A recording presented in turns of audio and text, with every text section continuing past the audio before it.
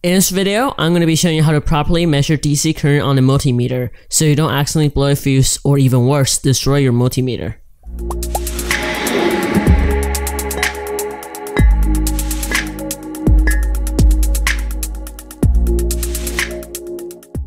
First of all, make sure your multimeter can measure DC current.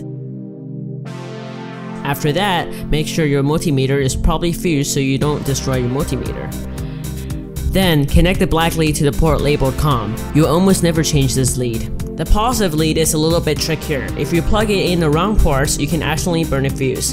If that is the case, just replace the fuse of your multimeter and you're good to go. If you're measuring current, plug the red lead into the port labeled 10A. If you're only measuring voltage, resistance, etc., plug it into the port labeled V. In this case, we're measuring current, so plug the red lead into the port labeled 10A.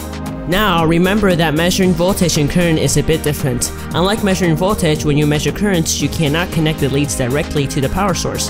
This will cause a short circuit and will most likely blow your fuse if you have a current more than 10 amps. Instead, you need to plug in your multimeter as if it's part of the circuit. For example, I want to know how many amps this blue strip LED uses. I will plug in the positive lead normally to the power source which in this case is a 9 volt battery. I will then connect the negative lead to the LED strip. Here's the diagram if this is a bit confusing.